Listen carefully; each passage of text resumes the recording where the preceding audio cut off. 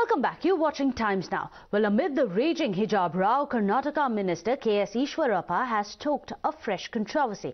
In fact, he said that the saffron flag will replace the national flag in future. In fact, he said that India could become a Hindu nation very soon.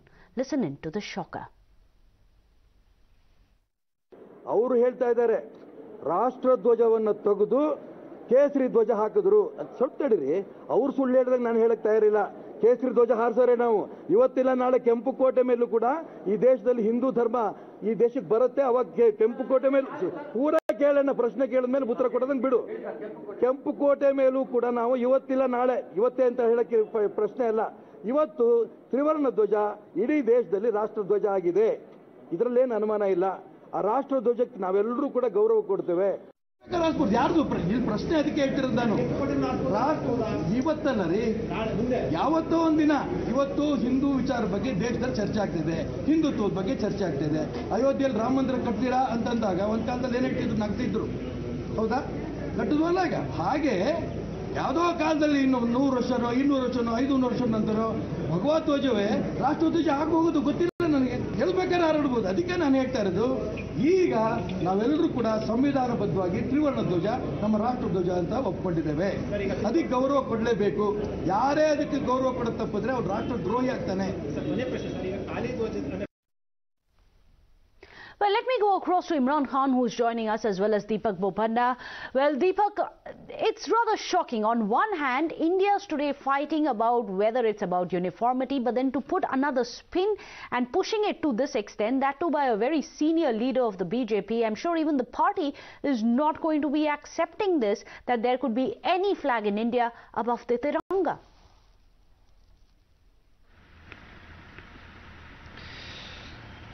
Well, Meghna, as far as uh, K.S. Eshwarappa, the minister in Karnataka, is concerned, uh, he's not new to controversy and he, of course, has been known to have been continuously making provocative statements uh, in the past as well. But uh, probably because, you know, either the state uh, uh, leadership or the central leadership doesn't really take any sort of action against him and that's the reason he continues to make them. And this was, of course, uh, while this issue has been raging on the hijab, now he makes this controversial remark that, you know, one day or the other, the saffron flag will be hoisted at, at the Red Fort. And towards the end, uh, you know, he adds that uh, for now, uh, we have accepted the tricolour and we have to respect it. Now, the question is, the Chief Minister earlier in the day said that any organizations or anybody should not make any sort of controversial statements that could, you know, ignite this issue further. Now, the question is, what is he going to do about his own minister making these sort of statements? And is he going to give them the leeway to continue making it and get away with it?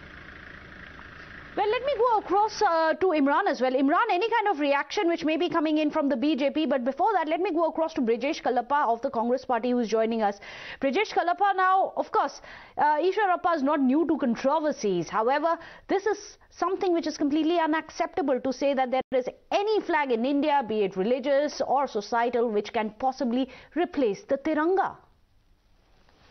No, one is unacceptable, and a person like that who says that uh, the national flag, not the national flag, but uh, some other flag, should be hoisted, uh, uh, you know, the Red is uh, is is absolute sedition. It, this is there's nothing short of sedi- sedition that comes and says such a thing. That uh, the national flag, which is uh, which has been accepted by everybody, which has been accepted by, by the Supreme Court, for such a flag now to be replaced by some other flag is nothing short of sedition. But also, one has to go to the roots of all this. Mr. Eshwarappa is an RSS man, and the RSS, as you know, had never accepted the national flag. In fact, it took over 56 years mm-hmm. for the national flag to be hoisted by the RSS headquarters. So this is the second part. So one has to now think as to who are the real practitioners of sedition in this country, and mm-hmm. who are the ones who actually deserve to be, uh, you know, sent to Pakistan. So these are the people. But don't you have, find uh, it ironic, Mr. Brijesh Kalappa, because BJP projects itself as a nationalist party, and this goes against whatever that the top brass of the BJP has always spoken about and said that they have hailed as well as have highest regards for the Tiranga, like the Prime Minister himself. Naturally, but you've also seen the Prime Minister wipe his uh, face with uh, the Tiranga. Right. And the wipe his sweat off his brow with the Tiranga. So really, ultimately, one has to ask ourselves the question. Do people who are actually saying publicly that they like the Tiranga, but mm-hmm. not showing respect to it, are they really respecting it or are they, are they just playing with our sentiments? This is something which That's an important uh, issue you've raised. Thank you so much, Mr. Brijesh Kalappa. Imran, the Congress now says that all this respect to Tiranga which is shown by the BJP, is this statement coming in from Eshwarappa reflective of the real stance? In fact, Brijesh Kalappa has gone to the extent of saying that this is seditious. Uh, any word from the BJP, any kind of defense? Well, uh, some some of the BJP leaders have distanced themselves from Eshwarappa, saying that it's his own personal view. But uh, as far as any official, uh, if you say that on record, any uh, uh, comment on that has not come from any of these senior leaders of the party here. But Eshwarappa, okay, he also says in the same insta, same bite that you know, as far as now is concerned, is that tricolor is our national flag and we have to respect it. And anybody who speaks against the national flag, he should be considered as a traitor. As far as the Bhagwa flag, he said that uh, just like how now Hindus and Hindutva has come into prominence, like uh, people used to say that laugh. Uh, he says that people used to laugh at us when we said that Ram Mandir and Ayodhya would be in, uh, will be constructed someday. Uh, people used to laugh at us. In a similar way, Bhagavad uh, Dhwaj can become a national flag in probably 100 years, 200 years, or 500 years. He says that it could become a reality, uh, like other things are becoming a reality now. But he also, in the same instance, says that you know the one day he wants to see the Bhagavad Dhwaj on the Red Fort.